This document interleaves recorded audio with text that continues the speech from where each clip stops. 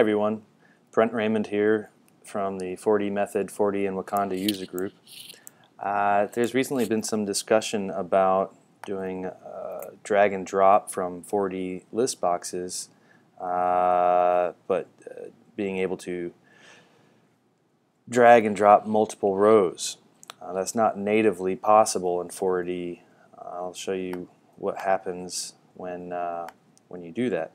I made a little demonstration database here with one table named func. Uh, this is a form with uh, a list box on it and we'll just go ahead and run the form um, with some sample data. So if you try and drag this automatically only one row will uh, will be selected. It'll erase your, your previous selection and you can even confirm uh, what is being selected. Uh, I have a, uh, I'm setting a status variable um, and we'll, we'll update the, we'll set the update time to one second so that it, uh, it'll, uh, it'll update quickly when we're uh, doing things here. Um, but right, so as you uh, as you're dragging, you lose the uh, the other record. So normally it should say, ah, well, you uh, you dragged and dropped uh, three records instead of one. So uh, how do you get around that? And it is possible. So what we have here is a uh, just a list box on the form this one in particular is a current selection list box um, with a local highlight set called LB highlight set. Uh, selection mode is multiple. Uh, we've enabled draggable and droppable uh, for this object and we've also enabled the on load, on begin drag over, on drag over, on drop, and on selection change. All those events are, are important to make this work.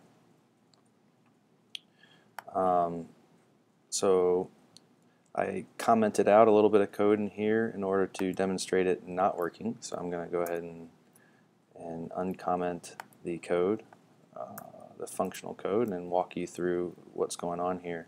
So at the top we have some declarations. You can collapse that. Um, here it just tests to see if there's any um, any data in the func table and if not it creates it so we can also collapse that. And then it sets up the uh, the form with a uh, with all records and uh, creates the highlight set. Uh, and something that uh, we're going to use called the mirror set. And then we set the status to loaded. Okay so when, let's look at the on selection change uh, first here. Collapse the other ones.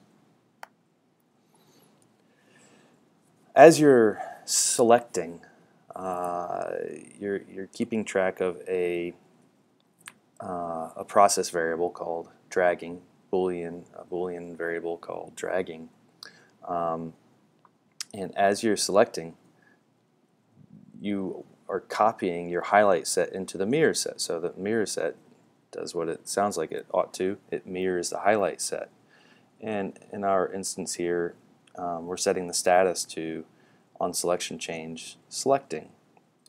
Uh, so let's watch that in action as we're selecting around in the uh, in the form here in the list box. So this updates to selecting. And you can also see the, the set now has two records in it. So the mirror set is, is being uh, updated with the highlight set. So on begin drag over is the first thing that uh, that happens uh, that fires when you start dragging.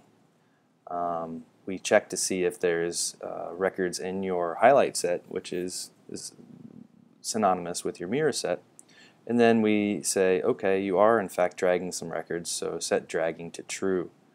And then here's where uh, the trick is.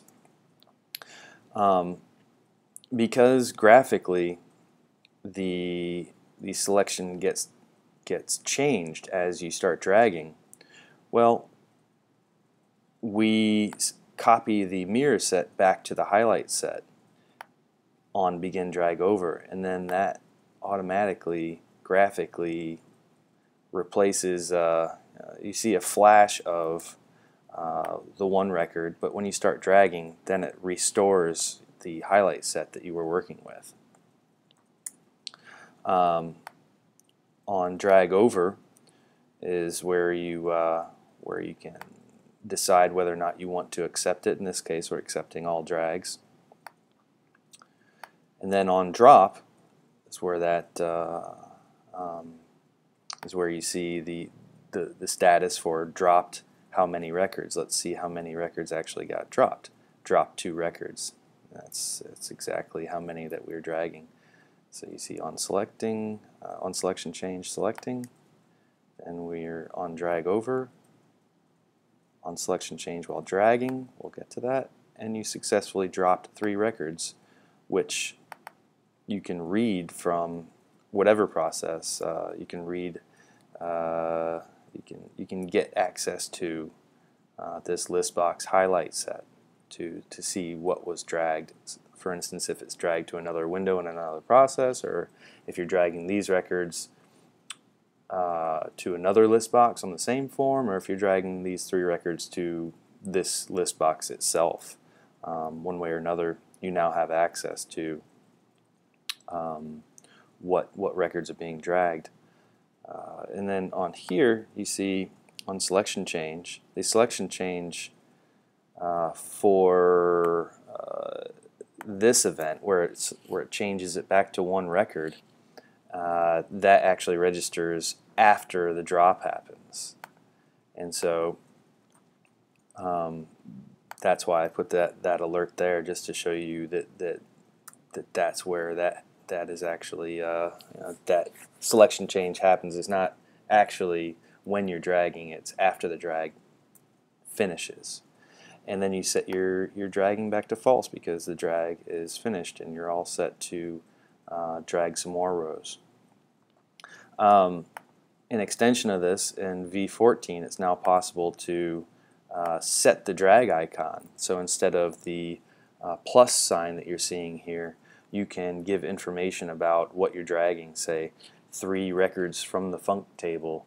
Uh, in fact, when you drag over other areas, for say if, if you know, another another drop area, you can say uh, three records from the drunk uh, from the from the func table uh, dragging to drop area.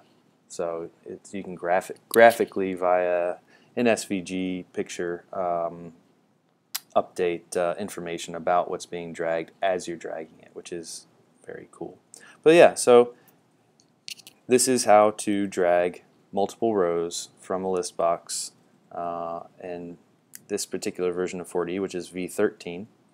Um, and uh, and right, yeah. So it's a little little 4D hack. Uh, graphically, it's not perfect, but it gets the job done. This is Brent Raymond from 4D Method User Group. Uh, we'll, we'll see you in the next video. Thanks.